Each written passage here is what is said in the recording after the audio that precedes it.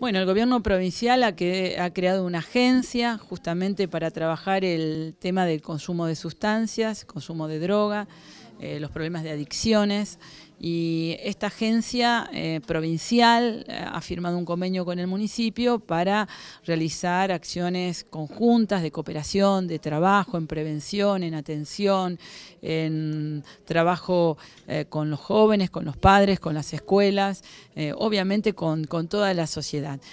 porque entendemos que es un problema que debemos tomar, una problemática que debemos tomar a nivel nacional, a nivel provincial y a nivel local, por eso eh, para nosotros es un gusto que la agencia provincial, eh, en, forma conjunta con el municipio, realice distintas acciones que lleven a un mismo objetivo, que es cuidar la vida de todos nuestros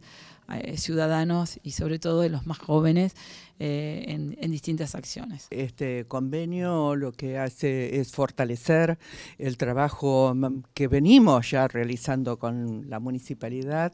eh, y es mostrar la necesidad de que la problemática del consumo es una problemática social, es una problemática que nos involucra a todos, es una problemática que verdaderamente debemos lograr el compromiso de todos los ciudadanos